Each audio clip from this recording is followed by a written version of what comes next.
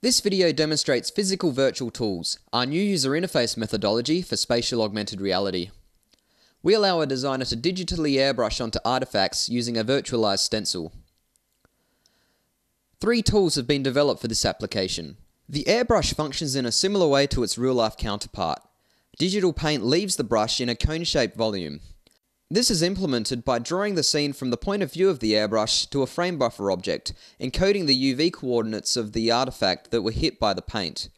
We then iterate across the frame buffer object and updating the textures. This allows us to achieve similar effects to a real airbrush. Spraying from a distance causes a larger area on the artifact to be painted, but with each point receiving less paint than if it was painted from close up. Applying the paint at a grazing angle to the object causes a large area of paint to be applied. Introducing the stencil tool allows the designer to airbrush onto the artifact, masking areas from receiving paint. The stencil operates in two modes. Either the stencil shape is the mask, or the tool is the mask, with the stencil shape acting as a hole in the tool, allowing paint to pass through.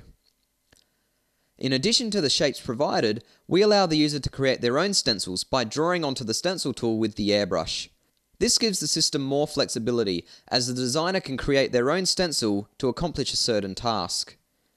Stencil creation would be difficult to achieve without the use of physical virtual tools. The Stylus tool is used for annotation directly onto the artifact. For example, a designer might make notes for modifications during a design meeting with a client. Annotating directly on the object can improve the dialogue between designer and client, as the client can verify the changes that are presented visually. We place user interface controls onto the stencil tool, in addition to the stencil shape itself. Pressing the buttons on the left of the tool allows the user to change the mode of operation. They can select a new stencil shape, change the paint color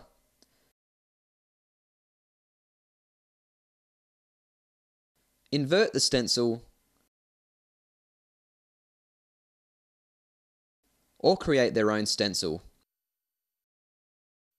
This video has demonstrated our two-handed airbrushing technique using physical virtual tools, our new user interface methodology for spatial augmented reality. Thank you for watching.